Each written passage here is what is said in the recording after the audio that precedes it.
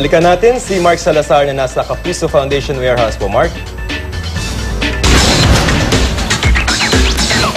Joseph, tuloy-tuloy ang bayanihan ano, dito sa warehouse ng Kapuso Foundation sa Tandang ah, Sora, Quezon City.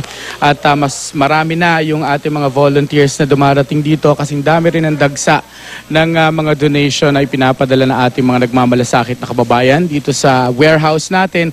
Kararating nga lang ng 3,000 pairs of ah, shoes ano, na dinonate din dito sa atin at ah, patuloy yung ating pag-impake ng mga goods, relief goods per bag, per family na meron niyang ah, bigas, isang malaking tabong bigas, meron niyang kape, noodles, delata, gatas na ating ipapadala.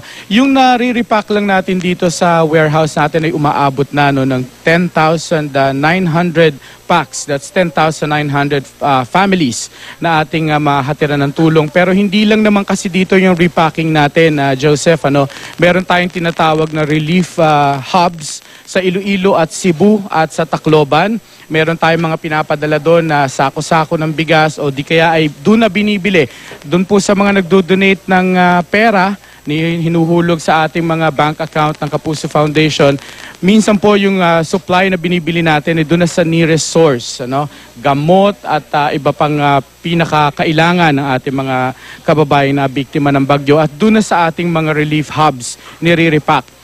At ah, yung pinakahuli na pinadala mula rito ay for 2,000 families sa Tacloban at ah, hindi tayo natatambakan dito dahil pag naisako na natin yung mga ah, relief packs natin, agad natin to sinasakay para ipadala sa seaports at airports para naman ipadala ng mga partner natin ah, na papunta dun sa Cebu, Iloilo at ah, sa Tacloban. Joseph.